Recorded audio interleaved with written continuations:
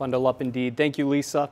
Tonight, the Wabash Valley Youth Orchestra had their annual concert. News 18's Ani Kasparian was there and has the story. Ani, how was it out there? Peter, it was such a beautiful concert, and the excitement amongst the performers was just magical.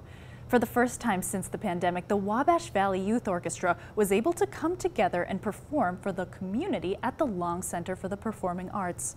This meant that the wind instruments were reintroduced to the ensemble after a hiatus in efforts to prevent COVID transmission. Both Mayor Roswarski, Mayor Dennis, and Representative Klinker were all in attendance and gave opening remarks. When asked what tonight meant to her, Carol Letcher, the music administrator for the Wabash Valley Youth Orchestra, had this to say. It means uh, how important music is in students and kids' lives and in a community.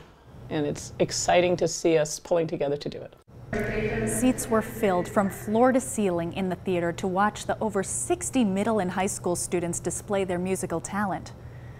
Truly a special night. Stick with us tomorrow to hear more from what the students who performed in the show and what the evening meant to them. Ani Kasparian, News 18.